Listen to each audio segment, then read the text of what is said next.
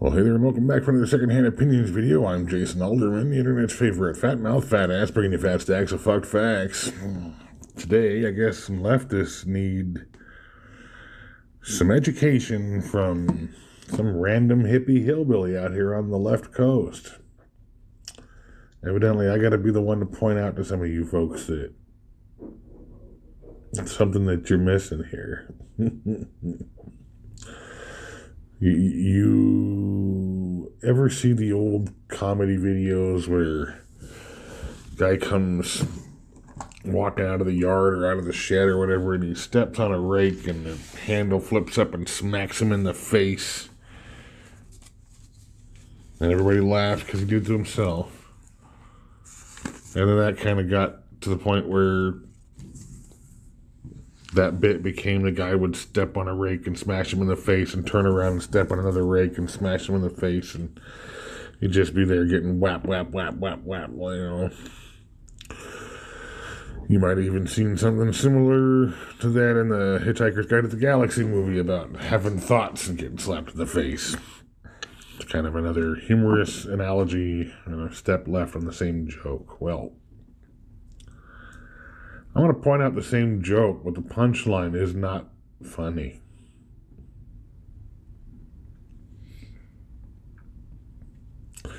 Four years ago, Donald Trump gets elected, and we have one year's worth of Antifa riots in the street.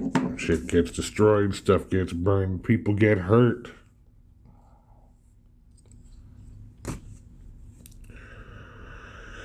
Got Proud Boys in the streets with Antifa up in Portland, etc. But you notice it's not an awful lot of San Antonio, Texas gets invaded by left wingers. It's not an awful lot of random Midwestern city full of cowboys gets harassed by Antifa and their 16 different gender identities.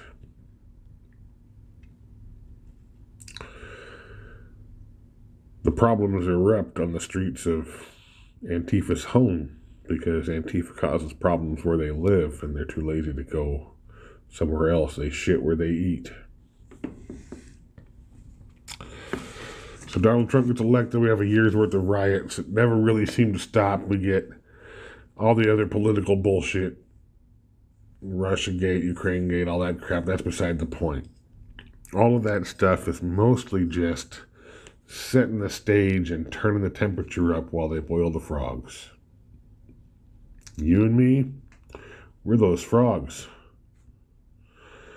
So, not too long ago, in an effort to protest who the fuck knows what at this point, some idiot got a statue pulled down on their fucking head. I don't know if they lived or died. I don't care. If they got pulled out of the gene pool, Darwin award that motherfucker because they deserved it. The statue destroyers went on to destroy a statue of an elk in Portland because the elk is patriarchy or something. And then they went after Frederick Douglass, abolitionist. Tell me again what you're trying to destroy. What is it you're remonstrating against? You're trying to destroy history, but it's not the history you say you're trying to destroy. It's all of history. You just want to rewrite the new bullshit story and no one around to tell anybody any different, huh? So the statues come down on somebody's fucking head. Nobody really fucking cares. Juxtapose that to Ken and Karen, if you will, the meme people defending their house with uh, weapons from the hundreds of BLM protesters that came onto private property and then did damages.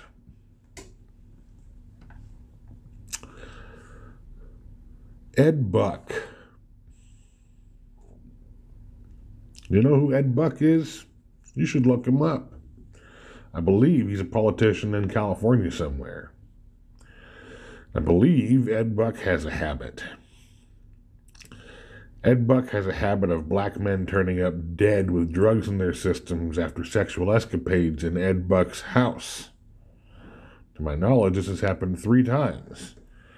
Ed Buck has nearly killed or killed some poor fella by getting him high as fuck on meth and having his way with them. I don't know what they do, but they're clearly doing drugs together because the drugs kills the black man in Ed Buck's home. Ed Buck, a white man in authority, murders a man through overdose while having sex and no one cares. Murders a second and a third man, no one cares. Derek Chauvin helps a man to death through an overdose in the streets, and we have two months of riots. What's the difference? What exactly is the difference? The Ed Buck was fucking the people that killed it, that he killed. That makes all the big difference. Black people still died. So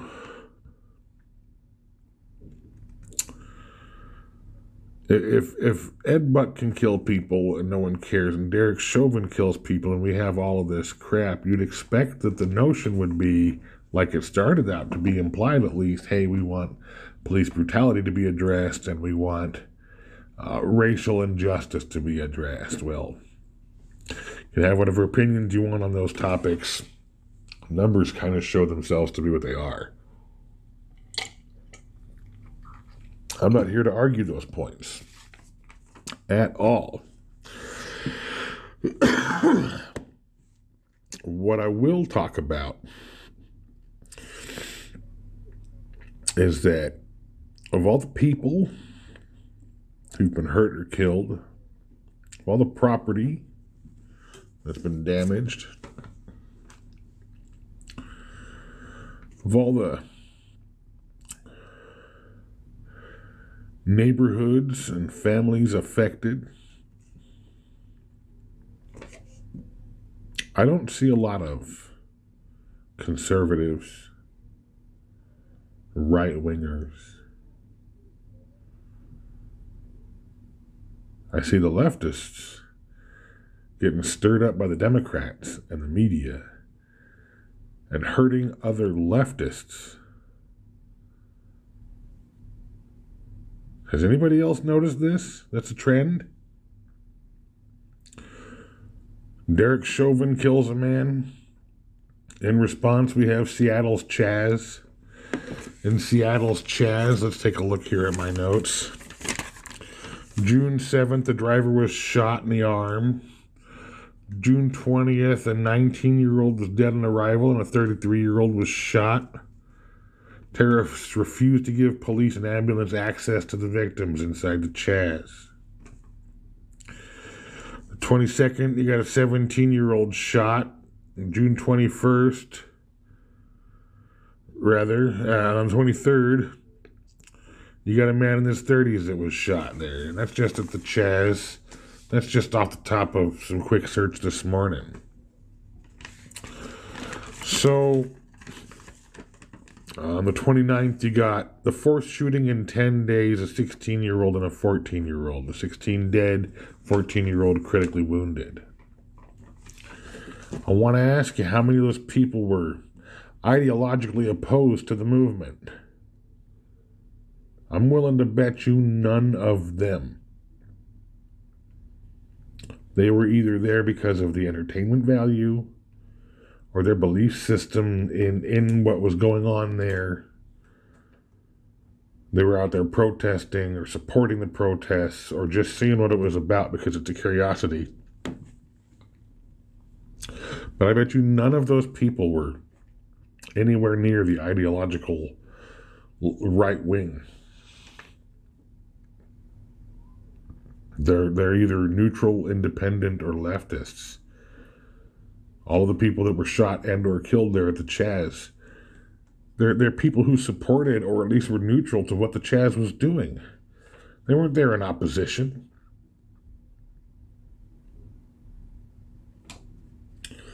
And Atlanta, the Wendy's where Rayshard Brooks was killed. Now, he killed his fucking self.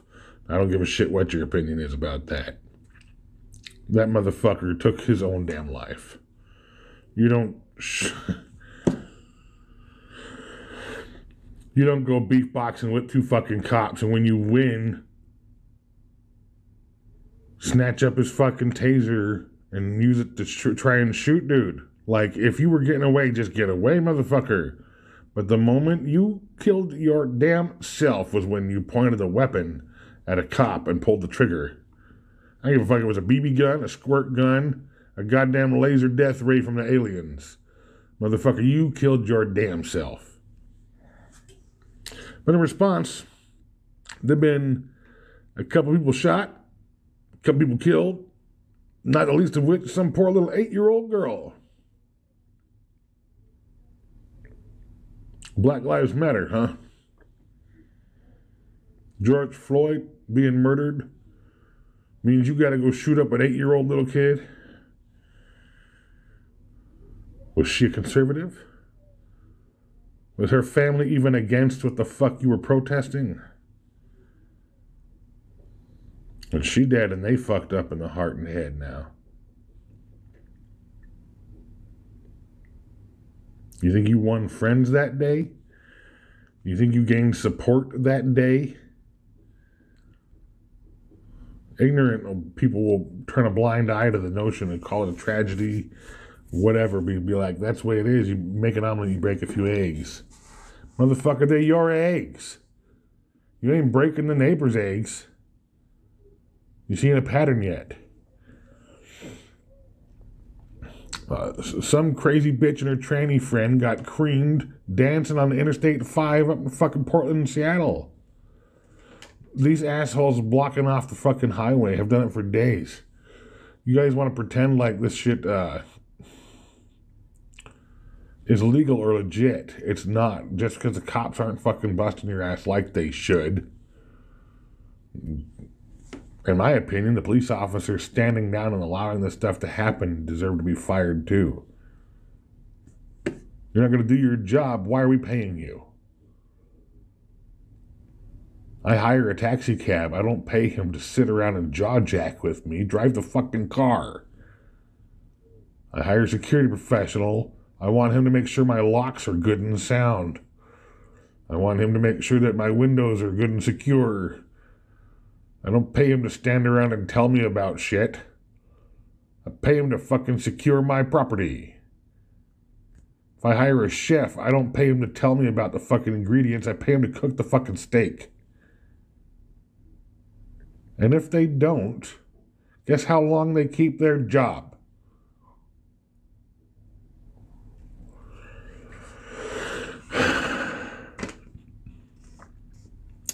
In Atlanta, 25 people shot just this fucking weekend, the 4th of July.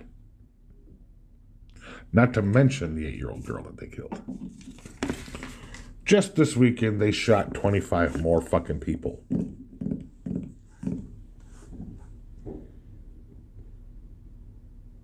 You see in the pattern? The Democrats stir up some shit. The media amplifies the shit stir. And you moronic leftists go ape shit crazy like a bunch of fucking rabid raccoons in a fucking cage and you kill each other. Killing each other. You're killing yourselves. Because the Democrats stirred up your shit? Because the media fed you full of lies? Because what? It's some kind of cultural admonition against yourself? You need to prove that racial tensions are high so black people kill black people. You need to prove that police brutality is on the high so black people kill black people. The Dems fuck up shit, the media amplifies it, and you hurt yourself. Metaphorically, that's like the neighbor threw a rock through my window, so in response, I cut off my own arm. God damn, you look stupid. And people are dying. Fucking grow up. Wake up, America.